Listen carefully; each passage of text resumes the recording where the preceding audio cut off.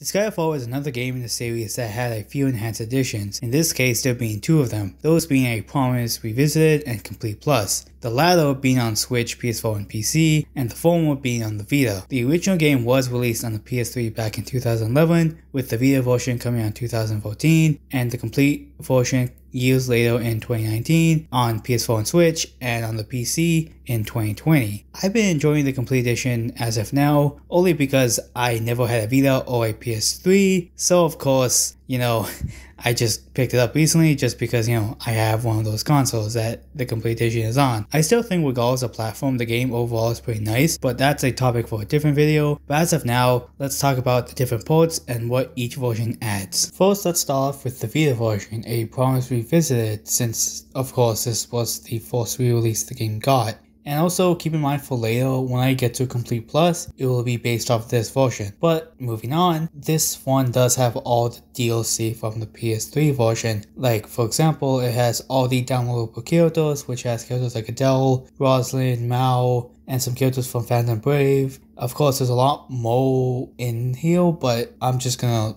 keep it at that, just you know, to give some examples. And in terms of other DLC, there are all new scenarios, new classes, a pirate tournament mode, all-star demon battle, and a whole lot of stuff for the pirate ship creation mode and map editor. You also get two new classes, those being the Necromancer and a meta class, this one being designed by Noizi Ito and the former being designed by Kohaku Kuroboshi, and I'm sorry if I mispronounced that. And in terms of the new scenarios, there's one with Valvatorez in his time of days, and when you finish it, you get to play as Valvatorez. Then there's one with Fuka and Desco, where it's now to play mode where those two are the main focus. The final two notable ones is that you can unlock Panio via the Pirate Tournament mode, and also you get to fight Tyrant Overlord Baal. Now we move on to the new additions, and one of them has to be where there's a new scenario with Altina and Valvatorez, and it's called Time Leap Episode. From my understanding, the cast goes back in time and helps out a new character named Nagi, and you help save Altina. I haven't played it myself yet, but this is what I can piece together.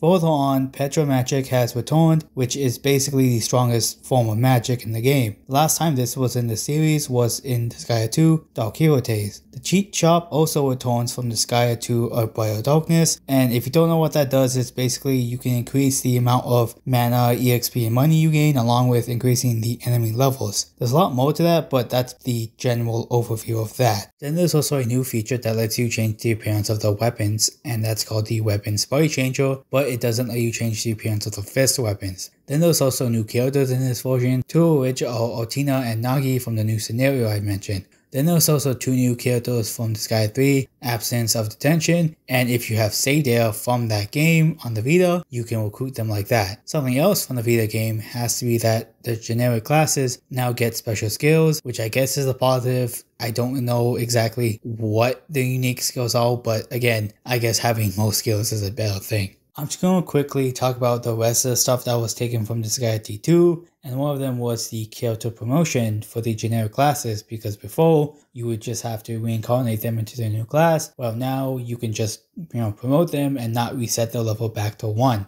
Then there was also an instant warehouse where now you can store up to 256 of them. Another thing is that you can actually bribe the Dark Senate with money now. And the final thing has to be where you can actually put characters in three different dispatch groups. And now moving on from Disgaea D2, there is now an event viewer which lets you rewatch cutscenes that were at least watched once. There's also new rank 40 items which are better than the previous rank 40 items in their own categories in terms of their stats. The new ones can be gotten by stealing from an item god 2 from the original rank 40 items in the Land of Carnage.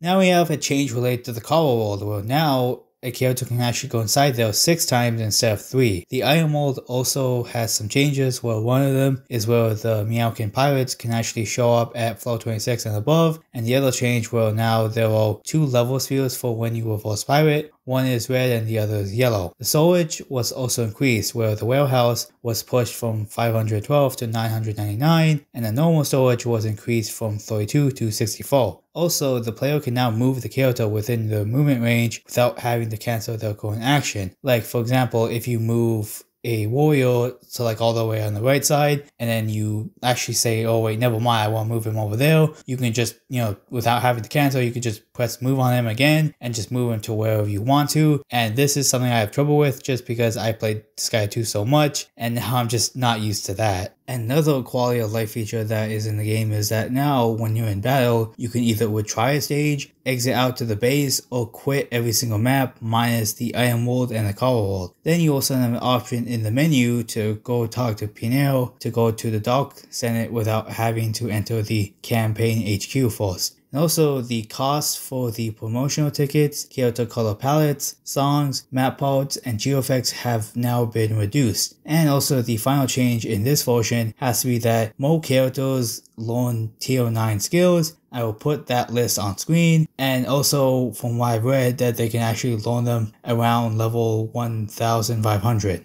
Now on to Disgaea 4 Complete Plus, and this part is going to be really short. First off, yes, it does have all the content from the Vita version, so, you know, I'm just getting that out of the way right now. And with this version, you can actually reposition the characters when they're viewing the attack ranges for those skills, along with the skills being able to be sped up to four times. The game also has an autosave feature where once you complete a battle, you know, it saves, and this one can actually be turned off. Finally, you can also see the magic change weapon for the demon before it happens on the status screen. And that's pretty much all the changes with the re-releases for Disgaea 4. And honestly, I think if you can get your hands on either the Switch version, the PS4 version, or it on Steam, that would probably be the best because I would imagine the Vita version might be a little bit expensive just because it's on the Vita. Well, of course, I would imagine the physical version for that would be a lot more expensive just because, again, it is the Vita version. But regardless, I think for the most part, the amount of content you get in the game would be kind of worth it. I would say it's a little bit more worth it with the game on Switch, PS4, and Steam, just because again, you know, it's most recent and you get basically everything. I got it on sale, but you know, maybe if you want to wait for sale, because I think it retails for like 64 Canadian if I remember correctly. So again, if you're not willing to pay that much, just wait for a sale. I've noticed that with every major sale for the most part, it actually goes down to maybe $45, maybe even lower, I'm not sure. But other than that, I am really fond with the game and I'm enjoying my time with it. I hope this video did help you decide what version to get because as of now, again, you could buy the PS3 version, Vita, and basically all the other systems I've mentioned for it. Thank you all for watching and see you guys later.